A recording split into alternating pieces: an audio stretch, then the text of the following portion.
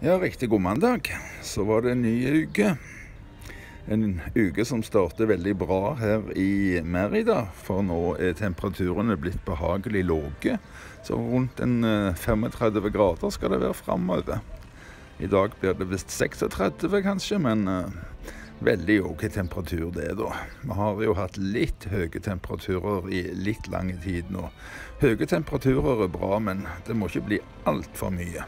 Skal vi se litt hvordan det ser ut på langtidsvarselet, da. Det ser jo veldig lovende ut, da. Med gode temperaturer hver eneste dag. Vi kan jo spandere på seks sekunder på europaværet før vi ser hvordan det ser ut i Stavanger i dag. Det kan jo eh, bli en bra dag, kanskje. Det var 11 grader i morges.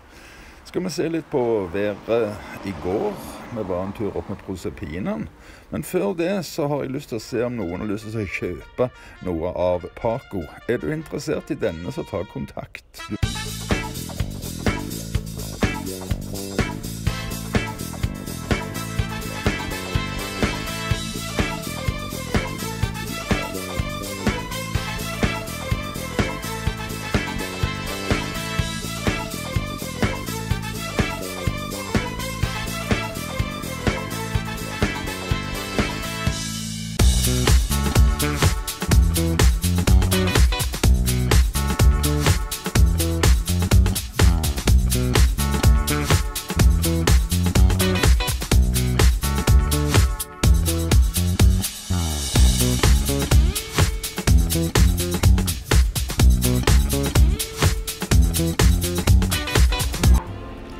Ja, det er en nydelig dag i Merida.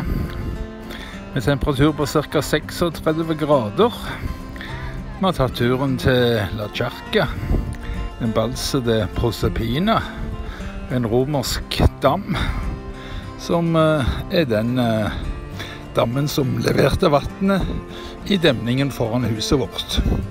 Og som så ofte før har vi tatt turen til vår favorittskjæringbite, Lago Pinar. Her har de aldeles nydelig potifarra, uten at vi skal vise noe mat i dag, da. Folk blir bare så sure og sultne når vi viser mat. Det er for fristende. Katalansk pølse er iallfall en av de spesialiteter her. Veldig bra.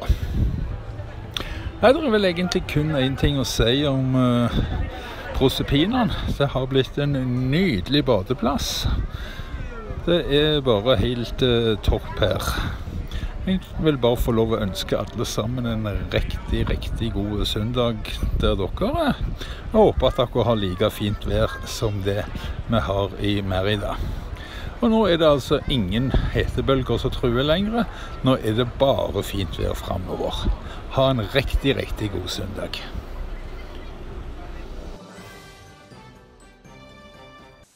Nå kommer den lange dagen. People of Bergen are gay and friendly.